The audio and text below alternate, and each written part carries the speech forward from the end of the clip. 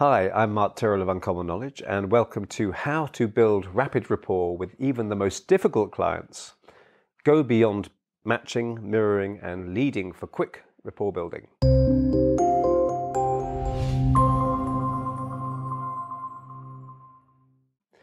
So I glanced down, and the word hate was boldly tattooed across the knuckles of both of one of my clients' hands. And my new client was staring or glaring at me with a suspicious look in his eyes. And it was not the most confidence inspiring start to our session. And when I was getting started as a hypnotherapist, the field was awash with um, new age mumbo jumbo. Most inductions centered around whale song, flowery gardens, inner wisdom, and the like. And for many people, that's very effective and works really well. So, of course, one of my early clients will turn, turn out to be a, a former member of an elite commando unit. And as soon as I walked into his home, I could see he just exuded testosterone. So I had a feeling that this very overtly macho guy would be pretty suspicious of any man he deemed less masculine than himself.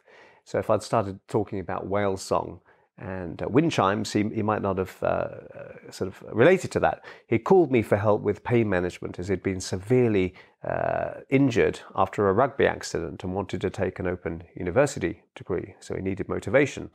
But if I was to have any hope of facilitating a successful hypnotic trance, I knew I'd need to ditch the wise, flowery whales, get on his side, and work from his perspective as quickly as possible. Building rapport is much more than mirroring, matching, and leading. Quickly building rapport with your client makes a huge difference in how effective your therapy with them is going to be. If you've done any training in therapy or sales, you've probably heard about um, mirroring, matching, and leading, and for good reason. These elements are the basic and highly effective building blocks of good rapport. So, the general idea is that when you want to build rapport with someone, you either mirror their body posture. For instance, subtly cross your arms a moment after they've crossed theirs, or you know, you mirror their speaking tone and pace and the kind of language they use, sprinkling their unique words and phrases into your own communication, or you match their posture. Um, as this is even more subtle and less likely to be noticed by the other person.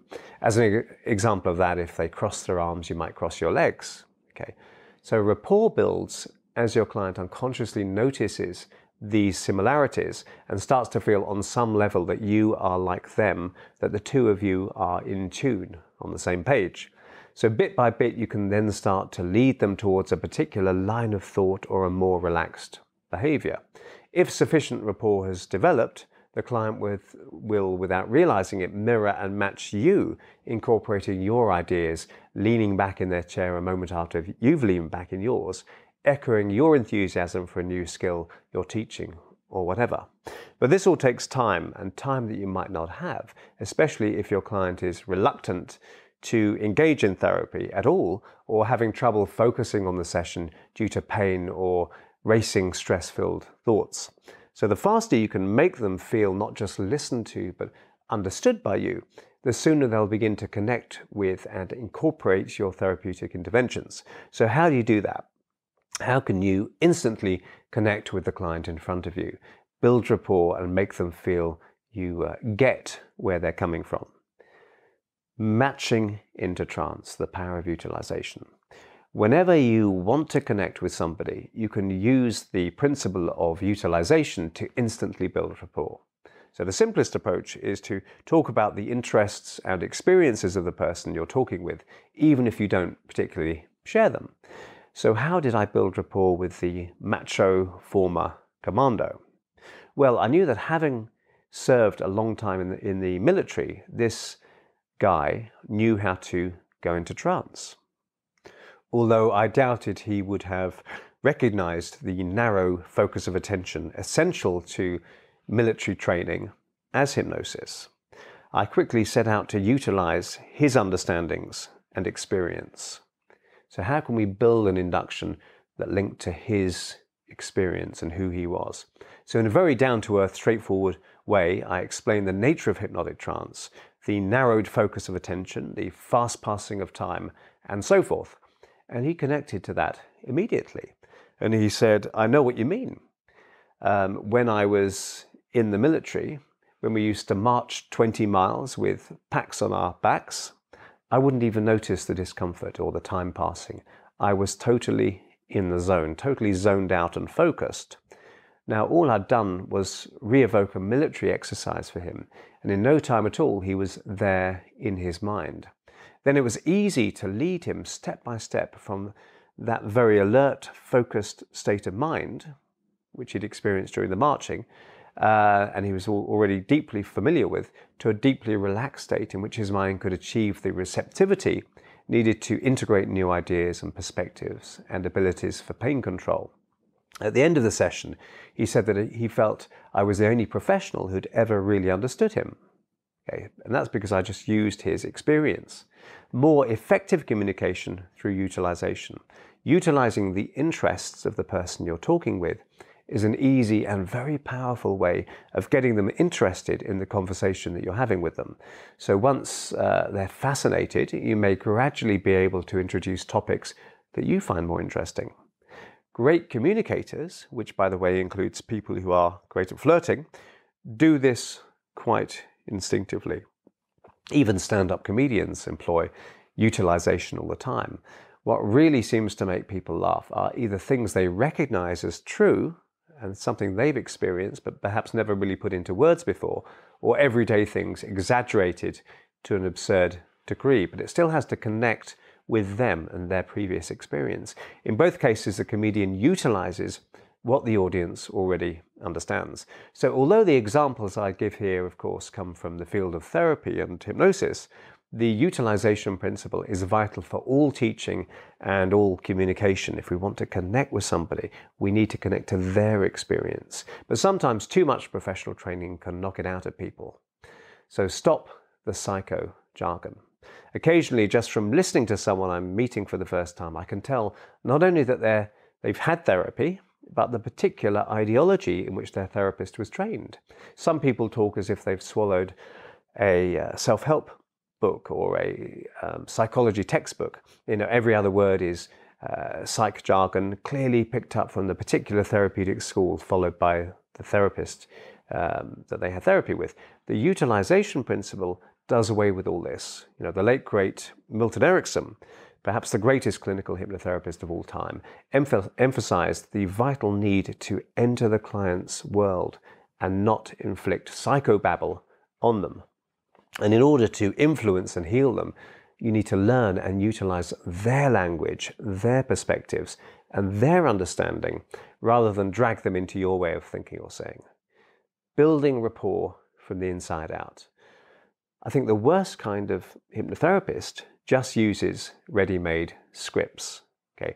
So there's no regard for the uniqueness of the client in front of them. Understanding and practicing utilization, on the other hand, is respectful to the client. And all scripts and limiting ideological pigeonholes can be discarded because there's simply no need to overwhelm the client with jargon or force our own interests on them. Whale song and wise gardens wouldn't have connected to that commando. So rather than trying to change people from the outside, the good therapist uses whatever the client in front of them already has on the inside. The utilization principle appeals to an individual's unique personality traits and interests to bring about change. So, this is a natural progression for the person and at the same time facilitates deeper rapport with them. For example, a smoker who's prone to angry outbursts could be led to direct their anger towards the cigarettes. Okay, so we can use that anger against what's really undermining them. This neither denies nor dismisses the reality of the anger, but utilizes it in a constructive way until the person can learn to manage their anger appropriately. In such a case, it could also be argued that anger directed towards something so potentially lethal is perfectly appropriate. To a computer programmer with a phobia, I might talk about the need for some new software to replace the old software or, or to reprogram or stuff. To someone who loved the novel Wuthering Heights, I might refer to the exhilaration and relaxation that comes from a walk on the wild and beautiful moors. To someone who was uh, into hang gliding, I might speak about rising above and beyond anxiety uh, until it was barely visible. So, how can you be limited in your approach when there's such a variety of human beings? Utilizing the gaping problem. Milton Erickson even demonstrated that we can use the client's problem as a way of helping someone progress in life. Uh, Erickson once treated a suicidal girl who was hopelessly convinced uh, she was unattractive and would never find a partner because she had a gap between her two front teeth. And in today's uh, uh, climate, she probably would have had dental work done, but this was back in the 1950s. And instead of trying to argue she, she really was attractive and telling her to ignore the worries or working to find out the root cause of her problems, Erickson utilized the very thing she worried about to change her thinking. At Erickson's suggestion, the girl squirted water through the ugly gap in her teeth at a young man she often encountered at the water fountain during her office break. And um, I don't know how he got her to do this. And perceiving this behavior as flirtatious, the young man asked her out on a date. So this woman who had thought herself unattractive, partly because of a gap in her front teeth, now found that this so called flaw had become the catalyst for contact with the opposite sex, and she began a relationship. By utilizing what had been seen by her as a huge problem, Erickson reframed her perception of herself and the possibilities open to her. This is almost Zen like uh, in its use of utilization. No rapport breaking, no argument, no therapy speak, no assumptions about problems running deeper, just direct utilization.